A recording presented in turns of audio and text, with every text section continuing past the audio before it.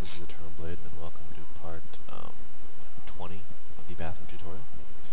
Um, first, we're want to apply Mesh Smooth to this uh, light we are working on.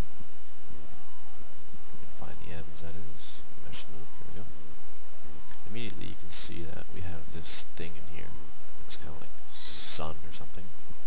And to uh, get rid of that, just go to the polygons here, and just simply inset it. That usually will fix the problem. Um, let's see if it did.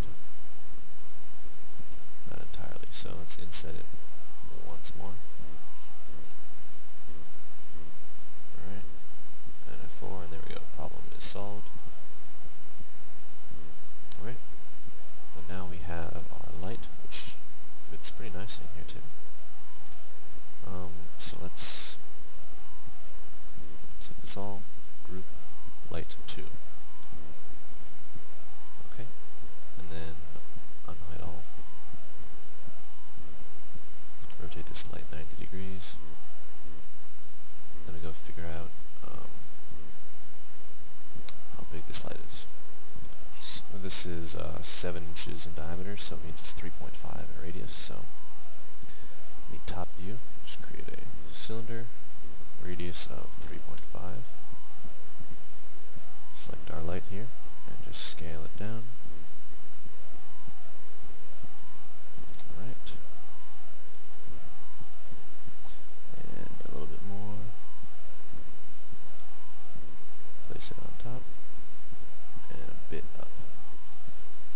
There we go, we have our light. We can delete this cylinder here. And let's move our light into place. So select it. Uh, let's give it a black material first. Okay.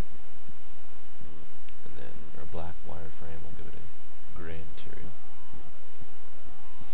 I'm actually rendering out um, another one of these videos for YouTube or whatever, so that's a bit slow, unfortunately. And this light goes in the corner.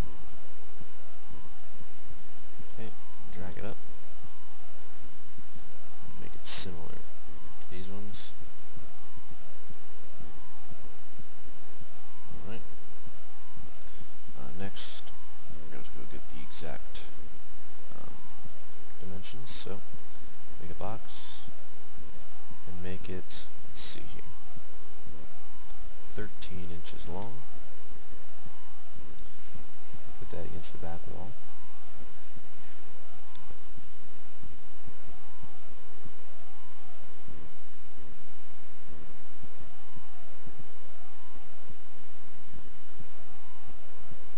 Well, I'm apparently on a spree. I forgot to press record again. Um, but what I did was, I just move this thing into position here. A box, aligned to the wall. It is um, 13 inches from this wall over here. And then shift drag this or shift rotate, and it is 12 inches from the other wall. Alright. Lines up, then just delete the boxes after moving it. Now I'm just seeing what part I want to do next. Alright, so what we're going to do is we're going to um, make these sides a bit skinnier, and then we're going to work on the uh, shower head. So first, select this piece,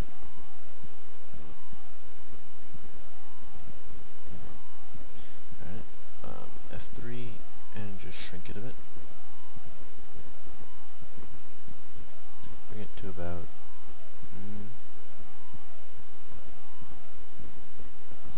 so bring it to about here. Right, and then do the same the other side.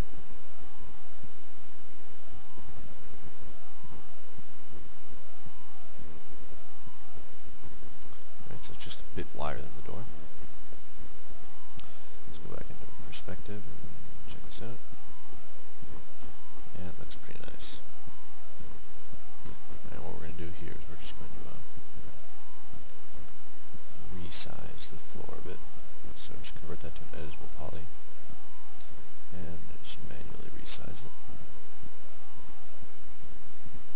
Okay. That. These back. And bring these down.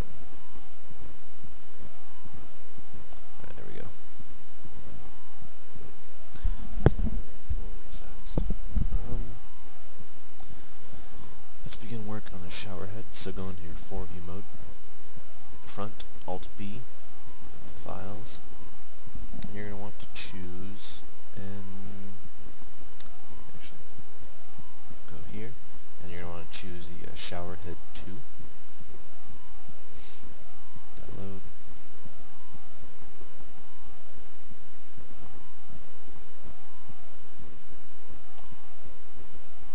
Alright, it's a little blurry. Um, but oh well. Save it in Jazz, shower head 2.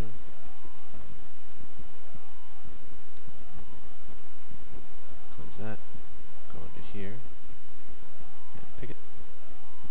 Okay. Give it a second to update. Once it does, maximize this, select everything, and hide selection. We're going to start with a cylinder. It's the same general size as this one. Rotate it 90 degrees. And then just bring it back to about the middle, I guess. Increase the height of it. Um, go into your 4view mode. And convert this to an editable poly. Select the polygon and bevel. Let's start beveling. And actually we want to bevel the other side.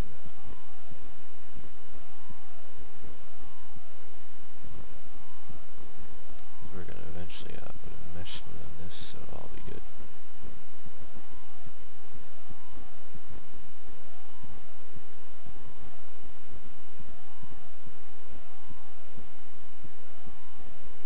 Oops.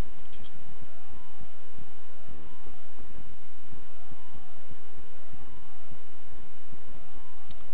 Okay. Try and get this perfect. Alright. Next, let's um, wow, that failed again. Alright, here we go. Let's put that there. And let's bring it out a bit more. Hinge from edge, pick hinge, and just pick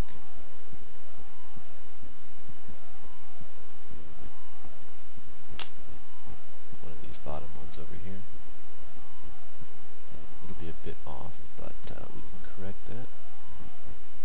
By rotating it, make sure you have angle snap turned off. Okay. Um, extrude it again.